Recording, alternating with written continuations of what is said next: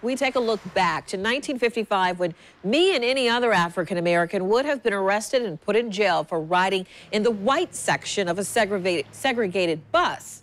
Fast forward to 2017, JTA wants to remind the public of the many accomplishments African Americans have made before, during, and after the civil rights movement. JTA will have 20 posters at bus stops throughout the city to highlight African Americans such as Rosa Parks, Wendell Holmes, and A. Philip Randolph.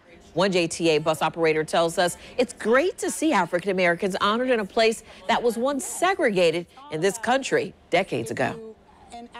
It makes me feel proud that I've been here at this establishment this long as a black operator to set the pave path for other operators. JTA wants you to get involved. These are the photos you'll see. Now, take a picture with the photo and put the hashtag JTA diversity on it. Now, JTA will also honor other minority groups during their diversity month, which is in February as well. And to find a bus stop near you, go to news4jax.com and click on this story under the community tab.